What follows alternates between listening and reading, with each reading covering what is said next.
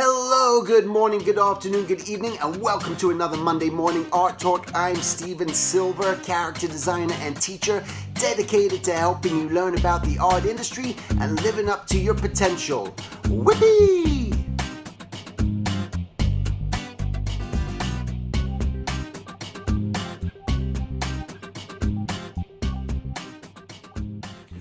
All right, welcome to another Monday morning art talk. So for those of you guys watching this on YouTube, you can see I am wearing a Danny Phantom shirt after all these years. Finally, I don't know why they're making merchandise now. I've just made some shirts and I got it through Kohl's.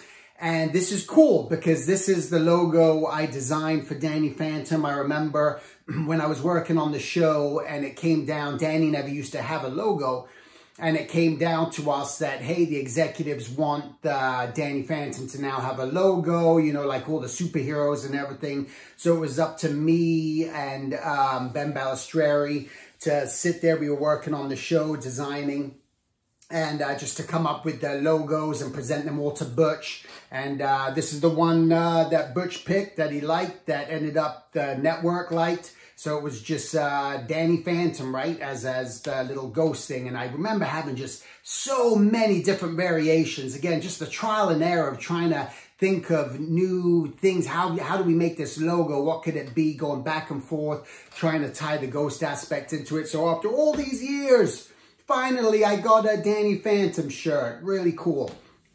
All right. So today's topic, what I want to talk about it is that you are good enough. You are worth it. Okay. This is, this is an important thing because I see with my kids today, they're in high school, 10th grade and uh, senior and 12th grade. I see when I'm watching just interviews or I'm watching just uh, talent shows and the constant aspect of people just not feeling like they're they're good enough. There was this documentary I watched. It was, I believe, on Hulu called uh, Jawline, you know, like your jaw, and then it's called Jawline, and it's following these two these people about trying to get noticed on social media, these young kids trying to get famous. And the constant thing over and over again, this epidemic that's happened in this world, especially with just younger generation, you know, I'm in my uh, four, late 40s, 47 and just uh, people who are, I don't know, 30 and years old and younger, really, maybe 35 and younger, that I'm just sort of seeing and hearing all the time, this constant, I'm just not going to do it. I'm not even going to try because I just don't feel like I'm good enough, that I'm, I'm worth it, that anyone's going to care. And this is this, whatever this is, is stopping people from fulfilling what it is that they want to just do. And it's, it's really a sad state of affairs when I watch it, and especially the talent competitions with people singing and go, I never tried, I ripped up my just audition thing because I've been told by this person or that person that I'm not good enough. And so people are just relying on thoughts of what other people have told them and that, that seed has creeped into their head or otherwise it's the constant comparison. You're comparing yourself with other people. And the famous Wallace Wattles setting was don't be competitive, be creative. And this is really the way out of it. This is the way out of, of thinking that you're just not good enough. It's just like, stop trying to compare yourself to other people. So I don't have to look at someone else and go, you know what? That guy is so much better than me. Um, that artist is so much better than me. I'm not even going to try because I know how good they are. Instead, it's like, I appreciate how good they are. I can learn from that person, but also I got just new things that uh, I want to do. I want to try something different and try to forge my own path. And, and, and if we didn't have this ability, if people didn't believe in themselves because of course there's believers in this world and people who take the initiative and do stuff. We wouldn't have all the merchandise we have. We wouldn't have all the book authors and illustrators that we have. We wouldn't have this abundance of variety of styles and different artists if from from the the masters or just the fine artists and painters from uh, whoever it may be, you know, an impressionist and go, what that person ended up doing something different and eventually forged a name for themselves doing their own specific thing. But the bottom line is, is you are good enough. And I would just want to tell you that you're good enough. You're worth it. You're worth the try. You're worth giving it just the old college try and just seeing what can come up from your ideas. And even if it fails, again, just if you can just get rid of that idea of failure, because this is the thing that just stopped people in their tracks from even trying. Again, not feeling worthy, feeling like, what are people going to say? What are people going to do? How are they going to react? Oh my God, I wasn't noticed. I didn't get a reward. You know, it's just, it's irrelevant. It doesn't, it doesn't matter. And that's what you just truly got to understand along this journey is that it's going to be, this is your book. You get your own book. The minute you were born, you were handed a book of life. And that book of life is just, it's not written, it's within you. That book of life consists of your brain. That book of life consists of your heart and your lungs and your blood and your veins and your mind, just everything. That's your book of life. And it's up to you to determine for yourself, how do I want my chapters to be written? And again, I don't want you to get stuck on the fact that maybe you're not doing what it is that you really want to do right now. Just knowing that piece by piece, you can start as long as you're building that towards that picture, that puzzle picture, you're going to start achieving those things. It's, it's a timing game. And that's what you got to understand. So it's really just the, the effort and energy that you're putting into something. And that's where the fulfillment comes in. The fulfillment comes in when you start to, you'll start to realize that even though you may not have that goal in mind, that you haven't accomplished that goal, you're not sitting in that place where you envision yourself sitting or being, you're not there yet.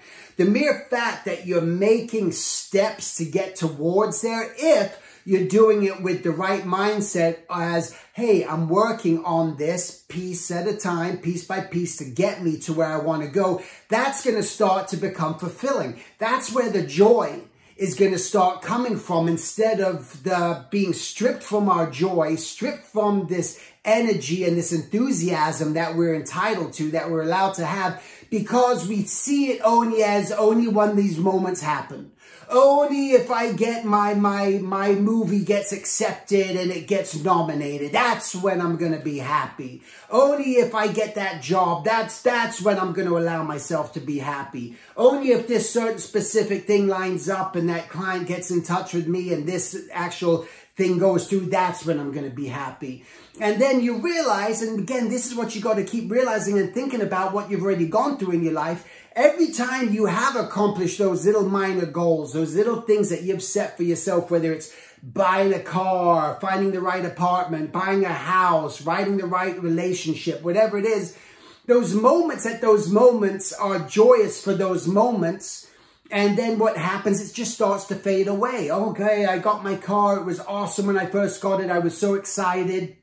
And now it becomes a part of who you are. It's your everyday existence. It's almost like we're just like this robot or this machine that is keep putting and we keep building. We never stop building and we're building on our brain. We're building on our mind. And that's what we're grab. These are all the little things that are zip, zip, zip, zip. All these little instances that keep coming our way and keep connecting us like a magnet. And this is making us who we eventually are. It's going to determine how we interact with people. It's going to determine how determined we are in our lives. It's going to determine how much effort we're willing to put into things, how often we want to practice on elements, whatever it may be. These are all the things that come into play through your life, but the most important thing that you can do is just try and just do that and stop and know that you are good enough. Know that you are worthy of attempting. If anything, just you're worthy of attempting to try something. You're worthy of giving it a shot. You're worthy of just dodging that bullet or just getting just laid out flat. You are worthy of like giving it that try because through this, you're not going to be holding on to these regrets and these things. And that's what gives me excitement and joy in my life. Besides, you know, if there's any sort of daily occurrence or something I'm having an issue with, my kids are going through something, whatnot, just daily stuff. Regardless of any of that information, I know if I'm working towards something, um, because I'm working on so many different things and that's just part of who I am. That's what makes me who I am. And I'm telling you, so many things that I've tried, they just go nowhere. But it's me that what fills me and gives me the joy and the passion and the excitement of just life and how I can even have any sort of energy is because I know I'm, I'm going to try it. I'm, I'm going to see what happens. And I get this thing and it's, and I've, and I've said it before by being naive and not knowing all the facts and knowing everything before I get involved in something can sometimes be a, a blessing of some sort because it's just like, I don't know, I'm going to try, see what, okay, it didn't work. All right, well, let me try that. Let me do this. Let me do that. And again, it's having that attitude. These are the things that are going to fill up the moments of your life.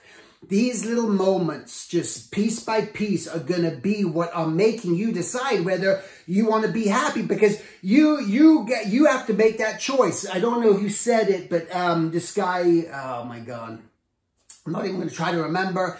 Um, but he, what did he say? Just like, uh, and, and it's a known thing. It's not like maybe he even coined it or anything. It's just like a lot of people say it, but it's just like you have, in order to be happy, you have to make yourself feel happy in order to be happy. You got to act happy in order to be happy.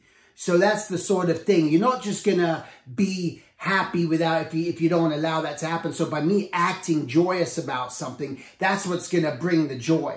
So that's something that you just kind of really want to think about. Like go into it with that enthusiasm. And that's why you want to start on your own projects. And for all of those of you guys who are working jobs which are eating up all your time and you don't have this, I'm, I'm telling you, there's ways, there, there's time in the day. There really is. It's like, are you truly, you got to ask yourself, are you truly using your time to the most effective and efficient way possible. And only you know that. You know if you're getting up, you're complaining you don't have enough time, but you don't roll out of bed till 11 o'clock in the afternoon right? So you know that all these, whatever those situations you may be, you know that maybe you're spending way too much time on social media when you should be working on your own stuff. You know that you're the one who's making excuses about not doing something or starting. It's only you know. So you got to determine for yourself, do I have those moments in time? Do I have that time? Where can I start organizing things just a little bit more and start making the things that I want to have happen because I am worthy and I am deserving of the try that I'm going to do it. And that's what I want you guys to come away with this from is just, just, just do it. I don't care. Just do it. Just try it. It's even if it's reaching out and contacting someone, that person that you're nervous to contact, that person you're, you're afraid to speak to, that, that thing you're afraid to say, just, just do it. Just say it and see the sort of freedom and joy that it can bring you just by giving yourself and allowing yourself to be a free bird on this planet.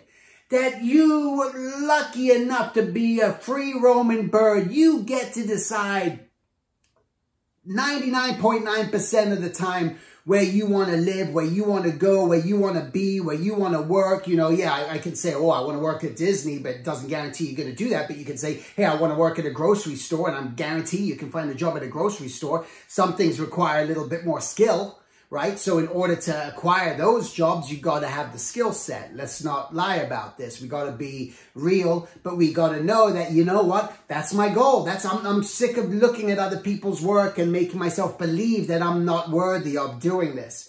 Because again, it's going to fall into the timing aspect and trying. And I think if you have that positive attitude about it, what happens is you start putting it out there more. You start talking about it in a positive way and not like, yeah, nothing ever happens. I tried and this and that.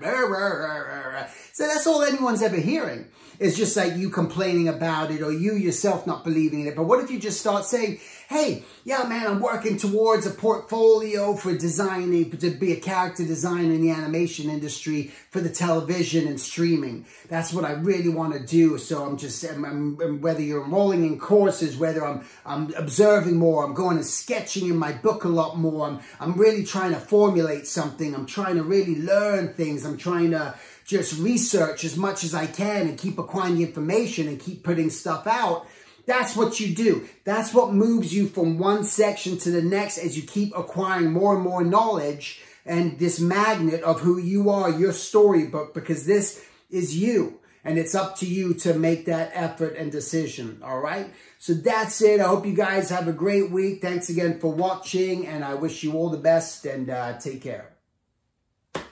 To learn more about my Skype mentorships and workshops, please visit silvertoons.com and if you like, sign up for my mailing list where you'll be notified of any upcoming workshops or events. Thanks so much for listening, and I'll talk to you next week.